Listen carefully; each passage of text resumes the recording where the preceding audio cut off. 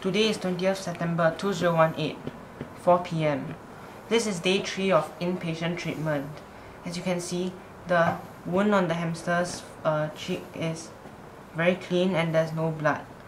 Um, this wound was stitched up with uh, 4 stitches of 4-0 size. Now we are going to weigh the hamster.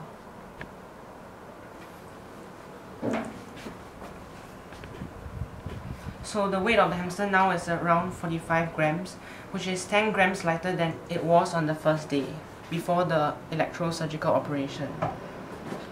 Um, so when the owners came, they complained, complained that there was a large ear tumor, which was half partly gangrenous and uh, partly non-gangrenous. So um, the treatment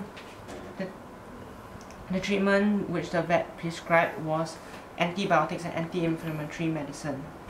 However, on the second day, um, as you can see here, the the gangrenous half of the tumor got separated and dropped off from the non-gangrenous part. Therefore, um, the the wound became an open wound, which uh, led to a very dangerous dangerous situation because there's a risk of infections. So therefore the vet decided to do uh, electrosurgical operation to cut away the remaining non-gangrenous part. Yep, so after the electrosurgery, as you can see here, the non-gangrenous part was successfully cut out and then the, the wound was stitched back cleanly. So now, um, the hamster is on the path to recovery. As you can see, it's very active and and the uh, wound is stitched up very nicely.